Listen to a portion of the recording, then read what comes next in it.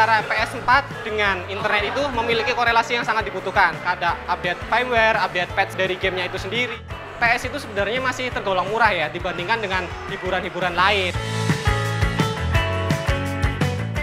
Bisnis sangat membantu saya dalam menjalankan usaha-usaha saya, terutama yang ada di rental PS ini. Untuk saat ini di kota Tegal masih yang terbaik, dengan harga yang masih terjangkau, koneksi yang stabil, uh, dengan segini banyaknya orang yang biasanya setiap malam itu full. Itu tidak pernah ada yang namanya nge-lag ataupun buffering ketika nonton video ataupun main game itu nggak ada yang buffering.